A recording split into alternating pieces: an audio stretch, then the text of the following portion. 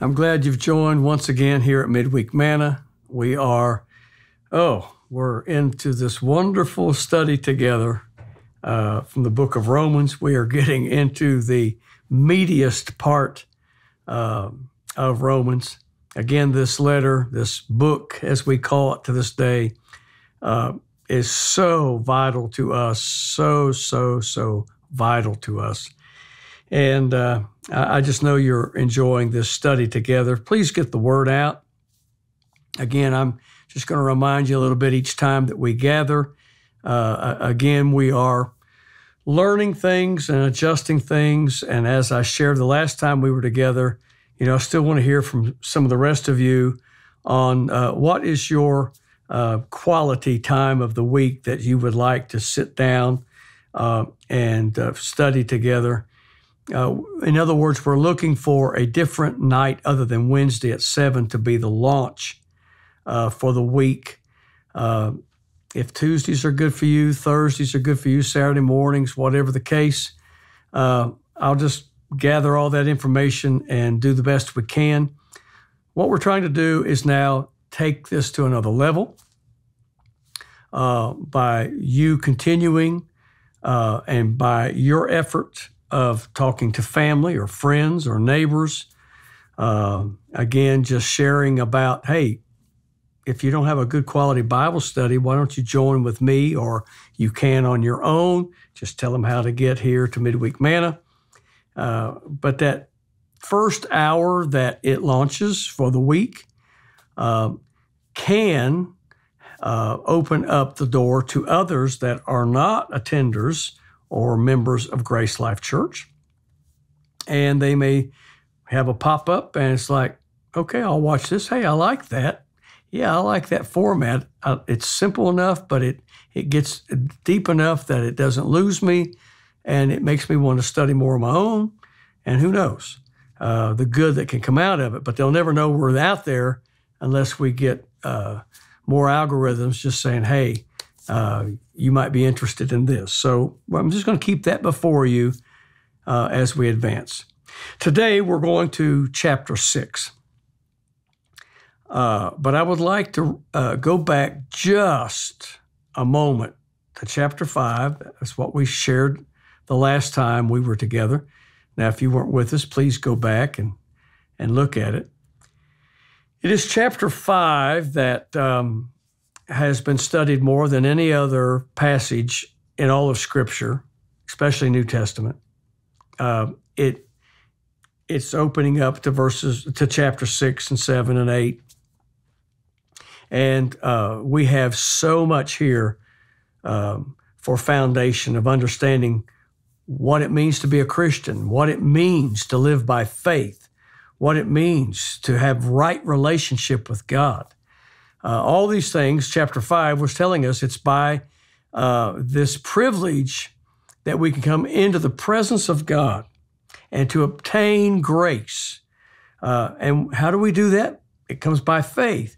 And faith is greater than works. Now, again, we know in Scripture, and we will read it in, in the next few times together, uh, where Paul tells us now, you know, if if uh, you have works, then show me your faith. If you have faith, then show me your works. They work together. But independently, works will fall short because, again, works just in itself promotes self. And it's not enough. We are saved by grace, as Paul would write to the Ephesian church, uh, the church in Ephesus, that we are saved by grace and not by works that any man should boast. So he's just reinforcing all that. Here he's writing to this group in Rome, wanting to get there and wanting it to take it into all the world, the citadel of the earth at that time, to come back to understand how important faith is.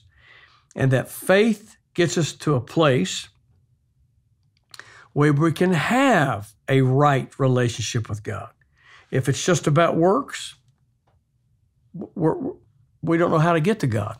We just allude that God, I, I, know that you're watching and I trust that you're pleased. faith tells us, no, I can come into these throne room. And so it is also chapter five is where, as I shared last time, the verse that, that the Holy Spirit led me to, we we had gone forever thinking about renaming the church here from Marietta Church of God to, and it was through that process that I was led to chapter 5. And verse 17 tells us that through one man's disobedience, that sin reigned in everybody's life. However, if we will receive the abundance of grace, we may reign in life ourselves. Grace, life. And again, that was through Jesus, his sacrifice, his obedience. So, through the solidarity that comes through the first man, Adam's sin, and we all had sinned and we were born into sin, it is now through one man's obedience, Jesus Christ, the second Adam, that allows us the privilege to choose him that we may reign in life. Wow. So now let's move on to chapter 6. I would like to read the first 11 verses. Follow with me. What shall we say then? Are we to continue in sin that grace may abound? By no means. How can we who died to sin still live in it? Do you not know that all of us who have been baptized into Christ Jesus were baptized into his death? We were buried, therefore, with him by baptism into death, in order that, just as Christ was raised from the dead by the glory of the Father, we too might walk in a newness of life. For if we have been united with him in a death like this, we shall certainly be united with him in a resurrection like his. We know that our old self was crucified with him in order that the body of sin might be brought to nothing, so that we would no longer be enslaved to sin. For one who has died has been set free from sin.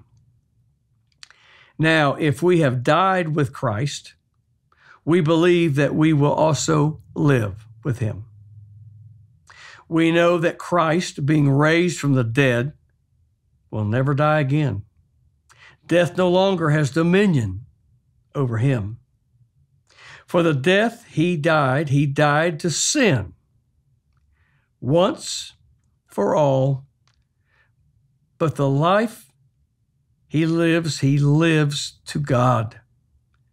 So you also might consider yourselves dead to sin and alive to God in Christ Jesus. So it's this understanding of the Spirit, of, of dying to live. Um, so Paul argues with us as we talk about grace. Oh, there's grace now, so I can just sin all that I want to. It made me think of someone I knew who no longer is alive. And I won't name the name, but you might identify if you're a diabetic and if your diabetes is severe. And of course, those of you that are diabetic, you know that you have to be good stewards of your body and you you have to watch over it with, with diligence. Depending on the severity of it, the injections, of course, of insulin, and how many uh, injections that you take, the volume of it. Well, this individual uh, loved to eat but not only enjoyed eating, but just would eat the stuff that he probably shouldn't have ever eaten, knowing that he's diabetic for sure. And so, of course, you know, doing the injections, doing the injections, pricking the finger, seeing where you are, seeing the glucose, and uh, finally, they came out with the with the insulin pump, right? And I never forget the day he came up to me and said, "Man, in this great day," he said, "I've got this insulin pump now. I can eat all that I want to, when I want to, as much as I want to, and that pump is just taking care of it." kidding me? But he allowed himself to think in error. It cost him his life. The diabetes cost him his life eventually. And so it is with sin. Can I just sin now because of grace? Hey, it doesn't count anymore. It does count. And uh, so, you know, we, we understand the purpose of why Jesus died. He died to sin so that we can be set from it. He didn't do it for his own credit. He didn't do it for his own merit. He had us in mind. And this is why, uh, not only being an ordinance of the church, but we are commissioned to also follow in water baptism. And that's why water baptism is always so important to me. I, I, as a minister, as a pastor, I really don't know of anything that gives me any more delight. I mean, you have responsibilities as a shepherd. it is an honor to dedicate children unto the Lord, be a part of that process. It is an honor to be called upon to unite two lives into marriage. It is uh, a great honor to have a farewell, uh, a homegoing service, a funeral service, memorial service, especially for someone who who lived life so well and honored the Lord. But water baptism, um, it just is so important. And the visual of it, the communication of it, uh, that watery grave, and for the body to be fully immersed into that watery grave, going in one way and coming out another. The visual again we go in dry and we come out wet. We go in with sin, we come out free from sin. To understand again that watery grave of this is who I used to be. This is the old man. This is the new man. This is the old garment. These are the new garments. I mean, the whole process of transformation, the visual of it, in a moment, in an instant, we know when it comes to the, the rapture of the church that the Bible describes as a catching away. In a moment, in a twinkling of an eye, the dead in Christ shall raise at first, and then we which are alive and remain shall be caught up together to meet the Lord in the skies, to be with the Lord forevermore. In a moment, in a twinkling of an eye. So, as quick as a water baptism experience is, someone going under the water and coming out, now, even, and you know that I have been known momentarily from random times to be a smart. Um, and so maybe before water baptism, I'll talk to an individual and just kind of chide with them that, you know, I may hold you under the water longer than the rest of them. I may need to hold you under five or six minutes to see if you survive it so that you really get the whole impact of what this is. Of course, I don't do that. But, you know, to, to, listen, to take it for what it is, no longer than it takes for a person to be put under the water table and to come out. This is the communication to us of the Spirit that we die to sin and we become alive to Christ. To understand, and the wording here of course, is to be in Christ. I, I, I love that formation of a short sentence, that, that, that understanding that I no longer am an individual. I no longer, by solidarity, am a member of the human race that is born in sin and destined to an absence of God. I now am in Christ. I don't just know about Christ. I don't know of Christ. I'm in Christ. The solidarity again, I'm part of the family of God. This is why, again, the, the language of the Bible, with God the Father and Jesus the Son, to, to understand I'm, I'm in that family now. I'm in the church. I'm, I'm in his life. He's in my life. I love John 15. You know that.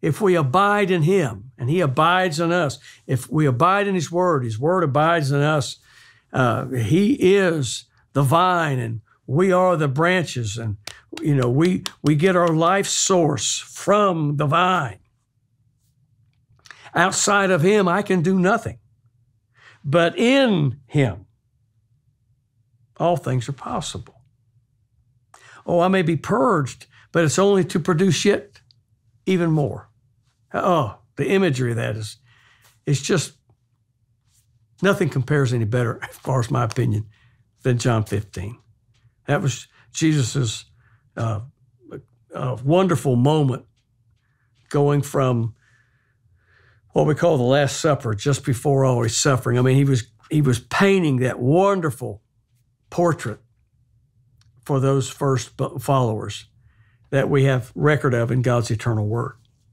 So again, we're back to what Paul's arguing. Do I do I just continue to sin? No, God forbid. Uh, because you're no longer who you were. You now are a new creation. Do you see Jesus going around sinning? No, you're in Christ now. So, so you abandon it. Now we know that we're not Jesus, and we know that we have fallen short. We know that we have failed. And that's why it speaks to us. Because of that, we need Him to be our Redeemer, to set us free, to deliver us.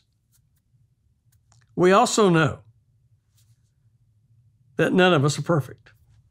That even though we have acknowledged by faith who Jesus is and truly have become born again, we still battle that old nature. And so, again, we understand yes, I've been water baptized and I don't want to sin anymore, but I have. I need to understand again what he did for me. He justified me, put me in a position that I can get into his presence as if I don't have sin in my life. This is why, again, the word of God keeps coming back. And, but if we sin, we have an advocate. Jesus, who became the propitiation for our sin. See, all those scriptures are bearing the truth that he's bringing out here that we're in Christ. Old Randy's dead, a new Randy became alive and is growing in grace. Let's go on now and begin at verse 12 and just read through verse 14 real quickly. 12 through 14. Let not sin therefore reign. There's that word again, see, that we learned in chapter 5. Let not sin therefore reign in your mortal body to make you obey its passions.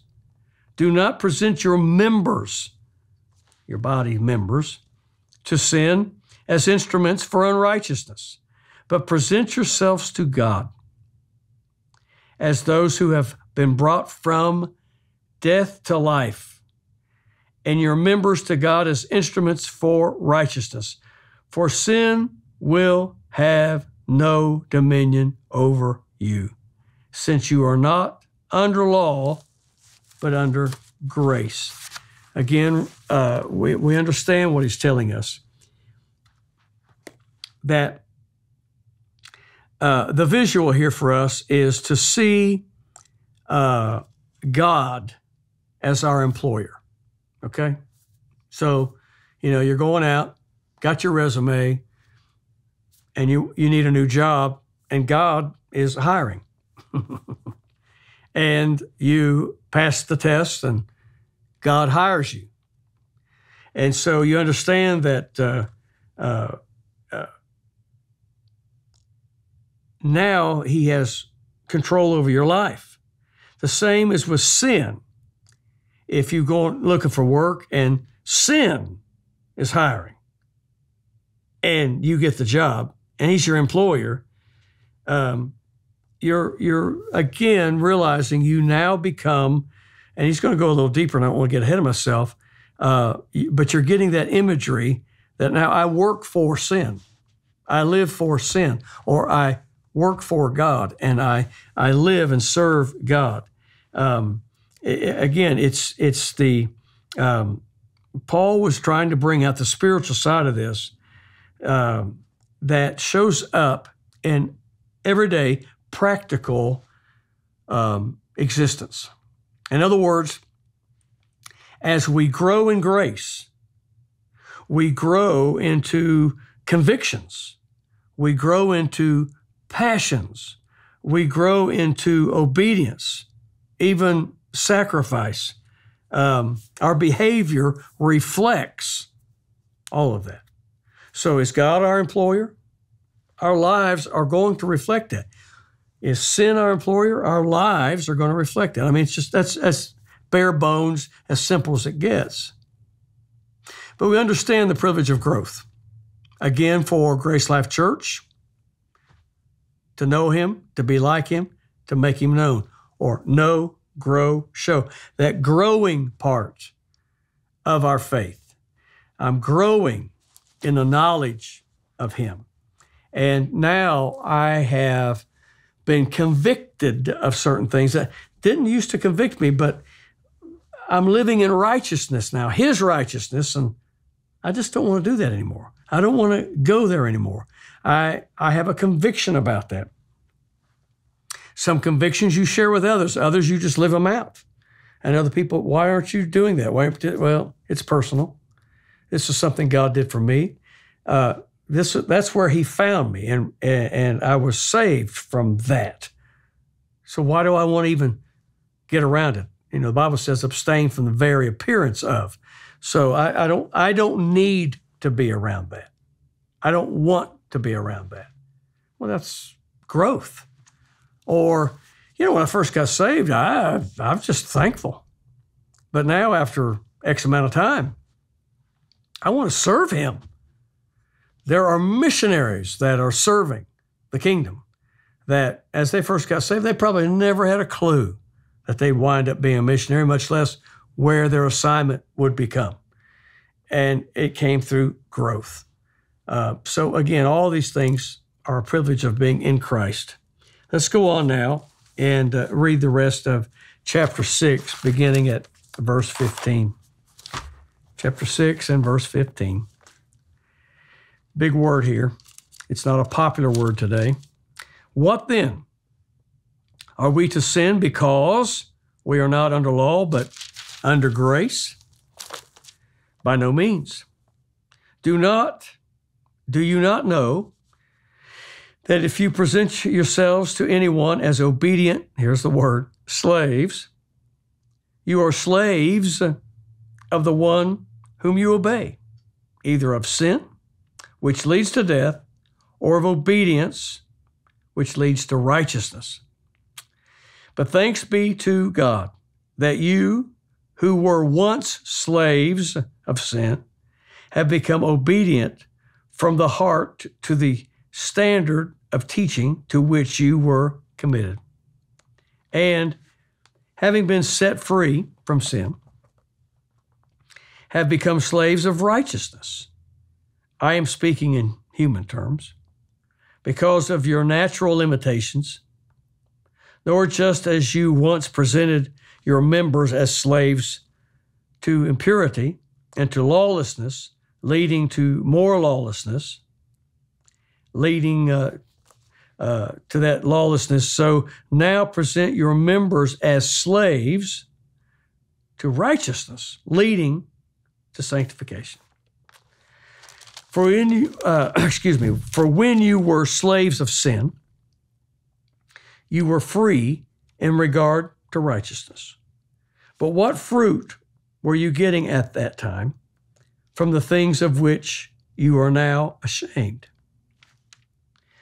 For the end of those things is death. But now Now that you've been set free from sin and have become slaves of God, the fruit you get leads to sanctification and its end, eternal life. For the wages of sin is death, but the free gift of God is eternal life through Jesus Christ our Lord. So, again, that word slave. Notice he doesn't use the word servant. And there's a difference.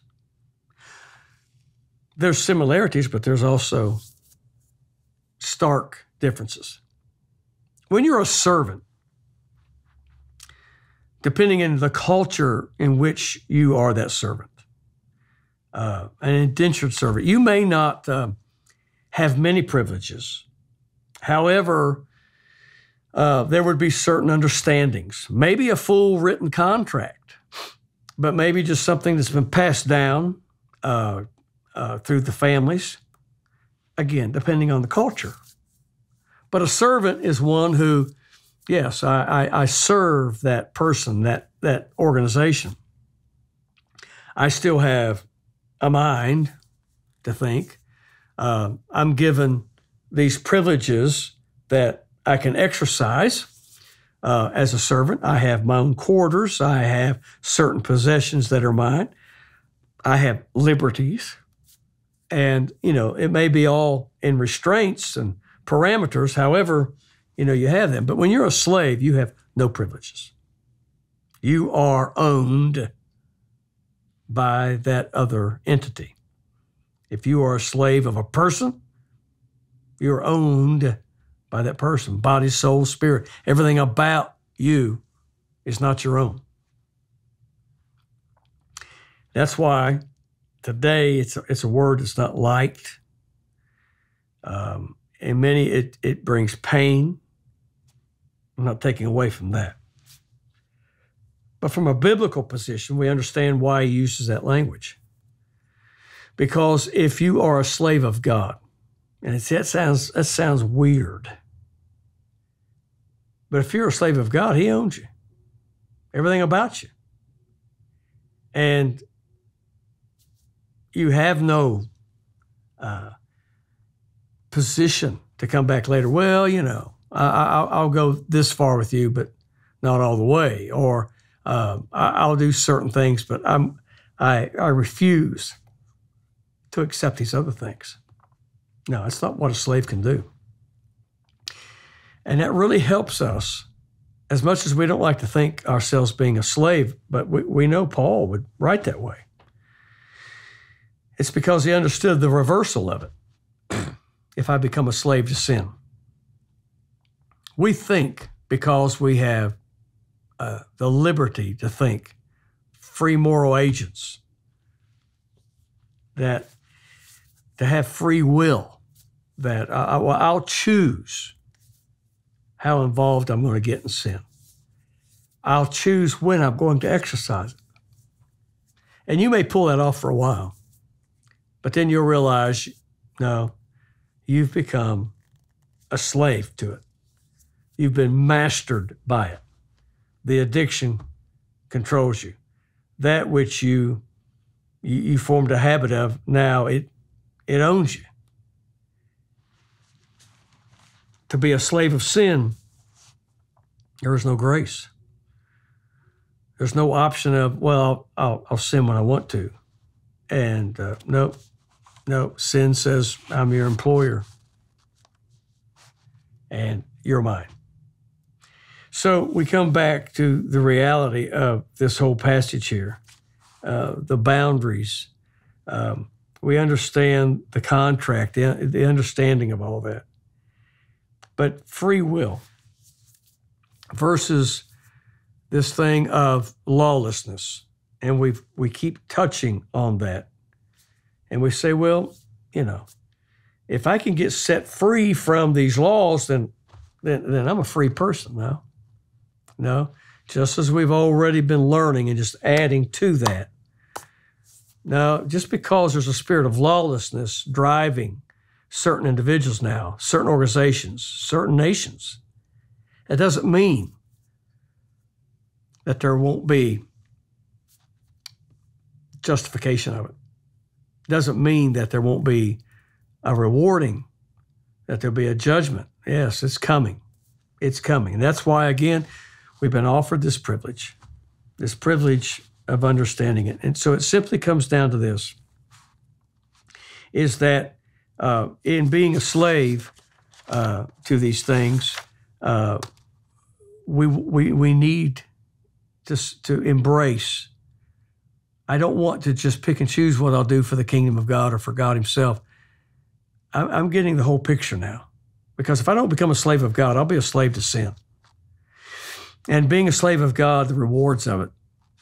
And to understand again the, the, the privilege that, that we receive. In other words, sanctification, to be set free. He's, he's changing me. Um, he's growing me. Uh, he's developing me. And, and the privilege of understanding again, this is what a good boss does. He develops me so that I may produce fruit. John 15 again. And that fruit remains. The parable of the talents. Jesus' own teaching, to whom much is given, much is required. But, but uh, Jesus' teaching on the parable of the talents, of, of giving this many talents to this person, this many talents to this person, this many talents to this person. It's not for us to compare who gets more. It's about what we do with what we receive. And if we're faithful to that which He has assigned us to, then He said, I'll make you a rewarder of even greater things. So again, we're, we're right in the, the meat of, of Romans. We're going to conclude this session as well, because again, we just don't want to try to take it all at one time. Just, just again, sit back, take another big breath, and just say, Holy Spirit, just really bring this to full understanding to me. And, and, and where I was afraid of certain words, just like slave, oh, I, I cast myself to you. And I, I want you to have all of me. I, I want to serve you with thanksgiving in my heart. Would you pray with me? Again, we give you thanks and we give you praise, O oh Lord. We thank you for the depth of your word. It's really speaking to us. And we say thank you for giving us an understanding of that which we were ignorant of. We might have even stayed away because we felt like it might be taken somewhere that we didn't know we were willing to go. But now we realize, oh my goodness, I still may not understand all of its depth all of its width, but I want to run to it because I understand now the contrast. If I don't, oh my goodness, I'll go where I don't want to go. I'll do what I don't want to do. So here I am, Lord. Let me have all of you, and I want you to have all of me. In Jesus' wonderful name we pray. Amen. Until next time, God bless.